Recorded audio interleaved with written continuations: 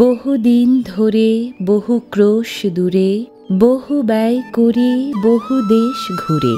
দেখিতে গিয়াছি পর্বতমালা, দেখিতে গিয়াছি সিন্ধু। দেখা হয় নাই চক্ষু মেলিয়া, ঘর হতে শুধু দুই পা ফেলিয়া। একটি ধানের শীষের উপরে, একটি শিশির বিন্দু। কবি রবীন্দ্রনাথ ঠিকই বলেছেন ঘর থেকে দুপা ফেলে আসলেই আমাদের দেখা হয় না অনেক কিছু। প্রিয় দর্শক, স্বাগত জানাচ্ছি বগুড়ায় আদমদিঘির কোমারপুর গ্রামে।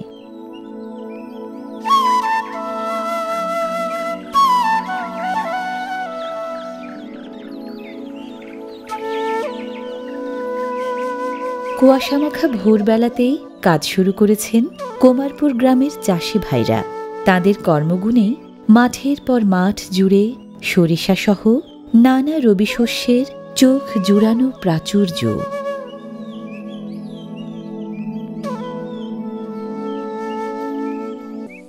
মিষ্টি রসের যোগান দেয়া এমন খেজুর গাছ বেশ চোখে পড়ে এই গ্রামে।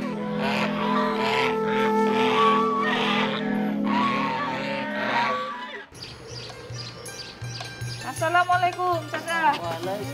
সাগর পোহাইতেছেন বসে একটু না শীত সকালে এভাবে দল বেঁধে আগুন পোহানোটা আমাদের গ্রাম বাংলার আবহমান ঐতিহ্য।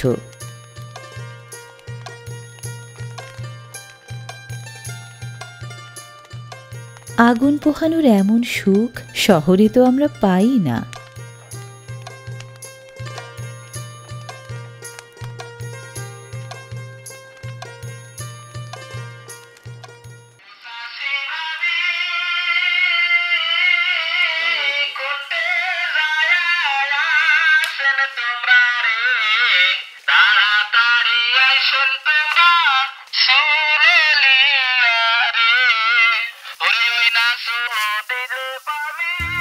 খড় কাটছেন গৃহবধূ। খাওয়াতে হবে ঘরে পালা গরুকে।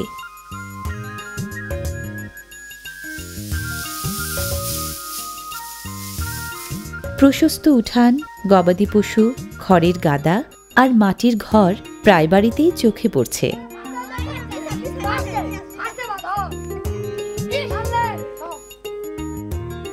চড়ুই ভাতি, মিছে মিছি রান্নাবান্নার এই খেলা কত খেলেছি আমরা ছোটবেলায়।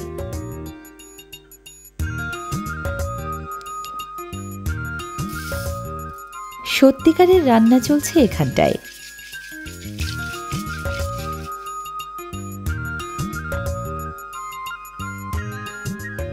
এক হাঁড়িতে চাল ভেজে ঢালা হচ্ছে আরেক হাঁড়ির গরম বালুতে। নাড়লেই তাঁতানো বালুর তাপে চাল ভাজা থেকে ঝরঝরে মুড়ি। এভাবেই এখানে মুড়ি ভাজেন গেরুস্থ বাড়ির গিন্নিরা।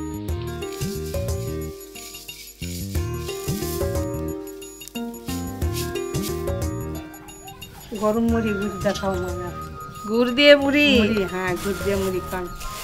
খাব আমি? হ্যাঁ খান। কেমন লাগল বাবা? হুম অনেক মজা। এই গরম মুড়ি চুলা থেকে নামায় খাওয়ার সৌভাগ্য তো হয় না।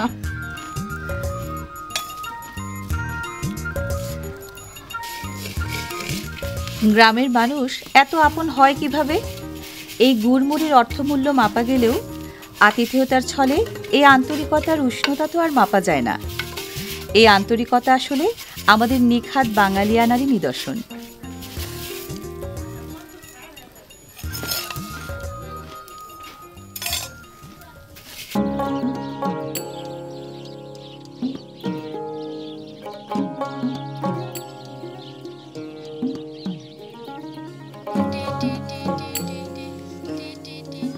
বাঙালির গ্রাম জীবনের যত স্নিগ্ধতা, যত মাধুরী, তার কোনোটারই কমতি দেখছি না এই গ্রামে।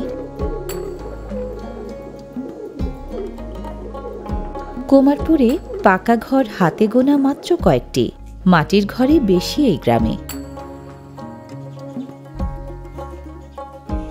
কম বেশি সারা দেশেই একসময় মাটির ঘর থাকাটা ছিল গর্বের ব্যাপার। এখন দৃশ্যপট অনেকটাই বদলে গেছে। তবে সারা দেশ বদলালেও কুমারপুরের মতো বাংলাদেশের কিছু কিছু গ্রাম এখনও টিকে আছে মাটির ঘরের ঐশ্বর্য নিয়ে।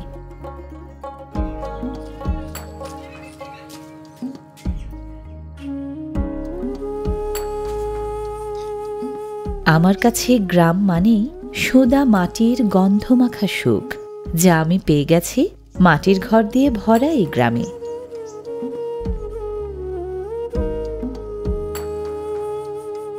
মাটির একতলা ঘর তো আছেই, দোতলা বাড়িও অনেক এই কুমারপুরে। বেশ কয়েকটা কক্ষ নিয়ে এক একটা বাড়ি। বেশ শক্তপোক্ত, কোনো কোনোটা রং বাহারি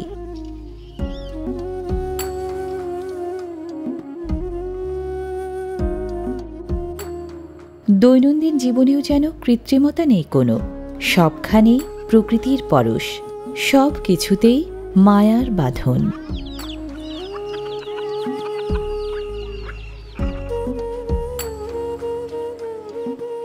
নারী, পুরুষ, ছোট, বড় মিলিয়ে এ গ্রামের জনসংখ্যা প্রায় বারোশো জনের মতো। মাটি ঘেঁষা জীবন ও জীবিকা নিয়ে মনে হয় কম বেশি ভালোই আছেন সবাই।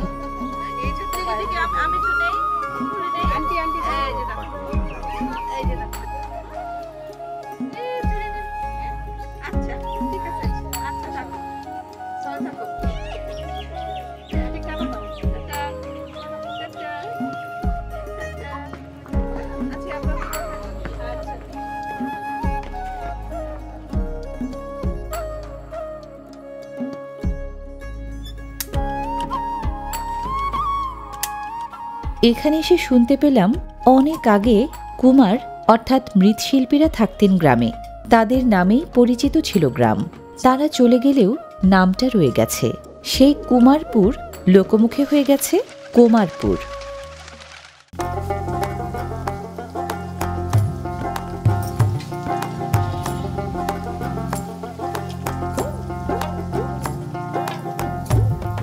আপা কি করেন? মা তিলের পিঠা। কি দারুণ তো বসেন খান পিঠা। পিঠা খাব? হ্যাঁ। তাহলে আমাকে একটু বানাইতে দিবেন? আচ্ছা বানা আমি একটু বানাই নিজেও খাই আপনাদেরকে খাওয়াই। আচ্ছা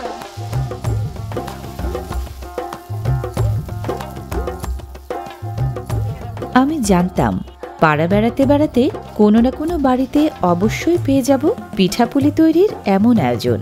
কারণ শীতের সময় গ্রামের মানুষ প্রায় প্রতি সকালেই কম বেশি পিঠাপুলি বানিয়ে খান।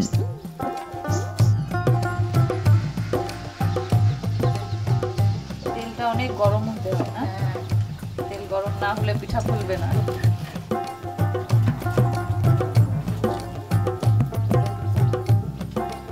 আমারটা হচ্ছে? হ্যাঁ হচ্ছে সুন্দর পিঠা হচ্ছে। দেখে দেখে শিখে যতটুকু পারা যায় আমার দৌড় ততটুকু। গ্রামে গঞ্জে ঘুরে ঘুরে নানা জনের নানা রান্না দেখে দেখে হাত তো কিছুটা পেকেছেই।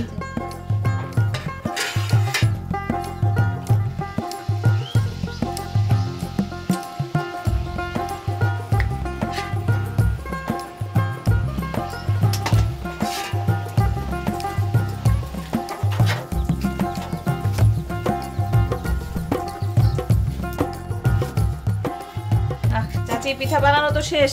না বাবা তোমরা খাই না। তাই সবাই খায়? একটা না সবাই। বাবুকে দিই একটা। খুব গরম গরম হতে পারবে? অনেক গরম। পারবা? আপা নেন। পুরি গরম।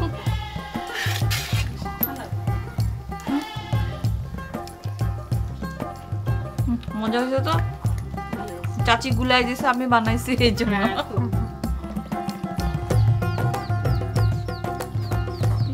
সুন্দর দোতলা মাটির ঘর। চাচি ওই ঘরে একটু যাই আমি। যান। কেউ আছে ঘরে? উনি আছে যান। আপনার উনি? হ্যাঁ। ও চাচা। হ্যাঁ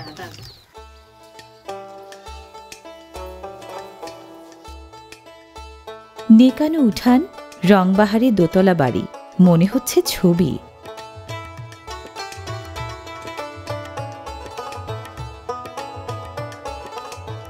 সিঁড়ি বেয়ে দোতলায়। রেলিং দেয়া বারান্দাটাও বেশ লম্বা। আসসালামু আসসালামু আলাইকুম। ওয়ালাইকুম সালাম। ভালো আছে জি ইনশাল্লাহ ভালো। আমি তো ওই যে চাচির কাছে গেছিলাম পিঠা খাওয়ালো তেলের পিঠা। তারপর উনি বললেন যে আমার উনি ঘরে মানে চাচা ঘরে। তাই দেখা করতে আসলাম। ঠিক আছে আমি। আচ্ছা ঠিক আছে। বারান্দা থেকে দেখা যাচ্ছে উঠান আর হেঁসেল। চাচা আপনার এই ঘরটা কি সুন্দর মাটির ঘর? খুব ভালো লাগল। ওই যে মাটির ঘরে যে থাকেন কেমন লাগে চাচা? ভালো লাগে। কেন ভালো লাগে? শীতের সময় গরম গরমের সময় শীত শাল পালক ঠান্ডা কম লাগে ভালো। তাই? এই জন্য থাকা হয় এরকম আমার বাপ দাদার আমল থাকে এইভাবে চলে আসতেছে। বাপ দাদার আমলেও ইয়ে ছিল মাটির। ঘরই তো ছিল। তাই? দাদা আপনার ছেলে মেয়ে কয়জন? দুটা ছেলে একটা মেয়ে মারা গেছে। আহা, আচ্ছা। তো এই যে আপনার ছেলে পেলেরা যে আছে মানে তারা কি মাটির ঘরে থাকতে পছন্দ করে? হ্যাঁ তারা মাটির ঘরে থাকতে পছন্দ করে। চাচা আপনার এই যে ঘরগুলো একটু দেখাবেন না? অবশ্যই দেখাবো দেখাবো না কেন আসো।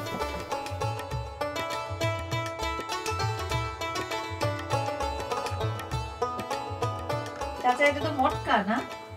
না এরকম আমরা ডাবর বলে তোমরা মটকা বললে বলতে পারো কিন্তু এটা চার রাখা হয়। এটা ওটা এটা। মানে আপনারা বলেন কি ডাবর চাল রাখার জন্য। হ্যাঁ।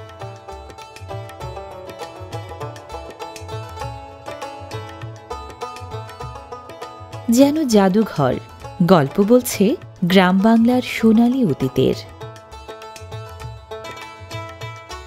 মা এটা ধান রাখার ঘর। এখানে আমরা ধান রাখি এই ঘরেতে। তাই না? দাদা এটা কি? এই যে উপরে কেমন উপরে ওটা সামনে দেওয়া হয়েছে ওটা হাড়ি পাতিল এটা সেটা নানান ধরনের যা জিনিস রাখার জন্য। আচ্ছা। চাচা এটা আপনাদের থাকার ঘর না? যে এটা আমরা এই ঘরেতে থাকি। বাহ খুব সুন্দর ঘর। চাচা তাহলে যাই আমি। কেমন আবার আসবে না? আবার আসব যদি বেঁচে থাকি অবশ্যই আসব আবার। আপনি ভালো থাকেন হ্যাঁ? যাই তাহলে।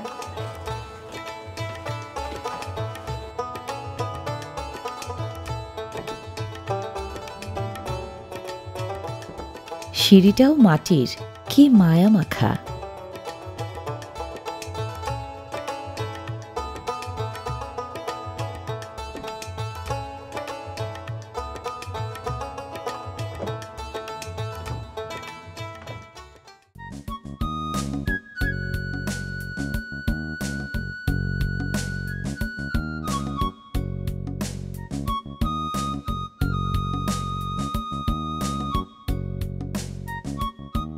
আনাজ কাটার ব্যস্ততা মানে বেলা বাড়ছে। বাড়িতে বাড়িতে প্রস্তুতি দুপুরের খাবারের।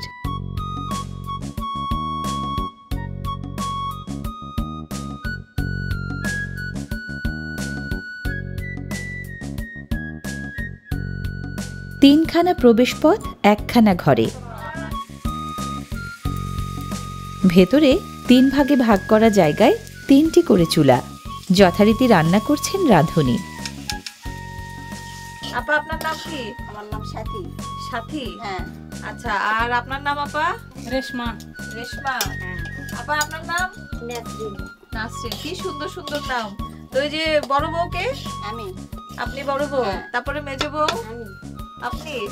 আর আপনি ছোট? হ্যাঁ। ছোট জনকে মাঝখানে রাখছেন না? ছোট যে আদরের বেশি এই জন্য মাঝখানে রাখছেন। রান্নাঘর কিন্তু একটাই। একই ছাদের নিচে তিন চুলায় একই সাথে রান্না করছে বাড়ির তিন বউ। আপা কি রান্না করলেন আপনি? মাছ দিয়া চচ্চড়ি ও আর আপা কি রান্না করেন? সিম ভাজি আপনি- হ্যাঁ আপনি একটু খান। দিবেন খাইতে? দেন খাই। খান। ওই গ্রামের এই সুন্দর খাবার কোথায় পাবো? বাহ এটা কি আলু আর শিম বিচি? হ্যাঁ। ও শিম বিচি আর আলু আহ। হ্যাঁ। আপা কি দারুণ স্বাদ। গ্রামের খাবারগুলা স্বাদই আলাদা শহরের সাথে মেলে না। এটা সত্যি। হুম। গ্রামের খাবারের সাথে খাবার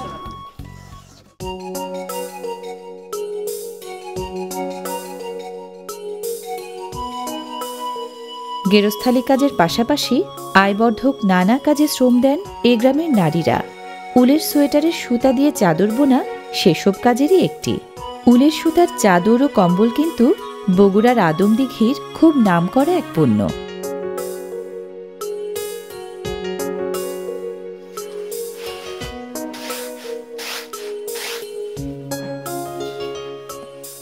ক্ষেতের ফসলের দেখভালেও অনেকটা সময় যায় গেরস্থ বাড়ির মেয়েদের।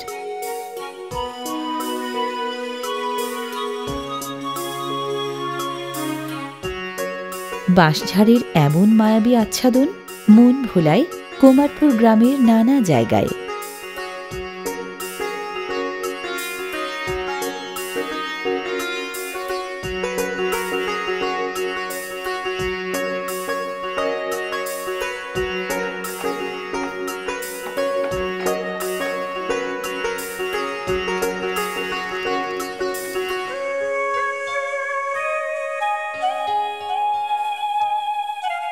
কুমারপুরের মাটি খুব উর্বর। নানা রকম সবজির তাই বেসুমার ফলন।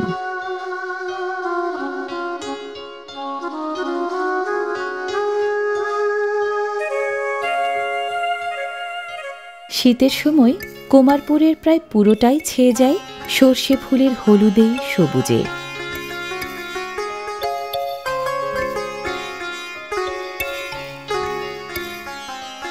নিজেকে মনে হচ্ছে সর্ষে ফুলের সমুদ্রে একলা অভিযাত্রী।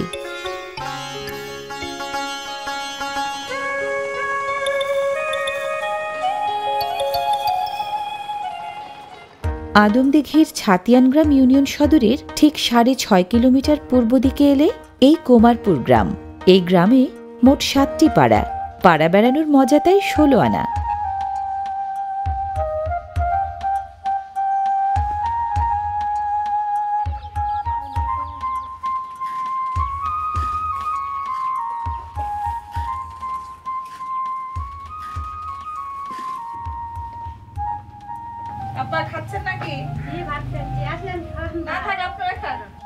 গ্রামের বাড়িতে খাওয়া করে যান আসেন আমাদের রান্না কীরকম?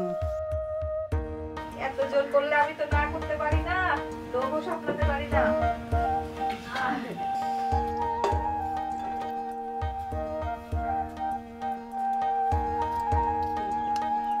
কি শাক এটা আপা? সরিষার শাক। বাবা।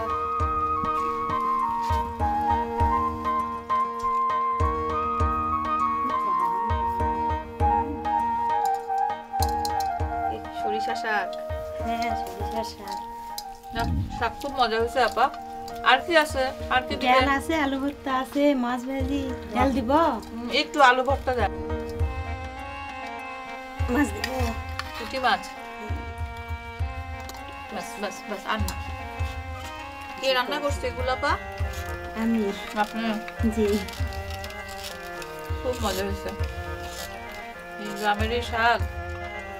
এটার তো কোনো তুলনা হয় না। এই জন্য গ্রামে গ্রামে ঘুরি আর খাই।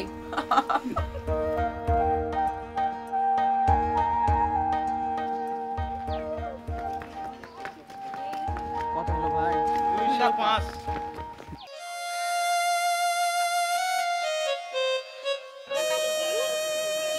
সময় হয়েছে বিদায়ের।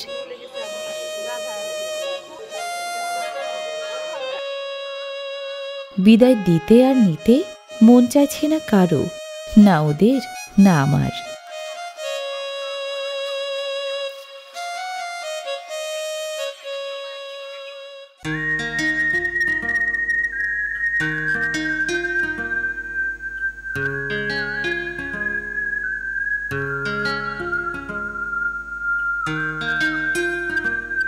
এ অনন্ত চরাচরে স্বর্গমর্ত ছেয়ে সবচেয়ে পুরাতন কথা, সবচেয়ে গভীর ক্রন্দন, যেতে নাহি দেব হায়, তবু যেতে দিতে হয়, তবু চলে যায়। প্রিয় দর্শক, কষ্ট হচ্ছে খুব, কিন্তু উপায় তো নেই। কোমারপুরের মাটি ও মানুষের মায়া কাটিয়ে আজকের মতো বিদায় নিচ্ছি। আবার দেখা হবে অন্য কোথাও। ভালো থাকুন সবাই।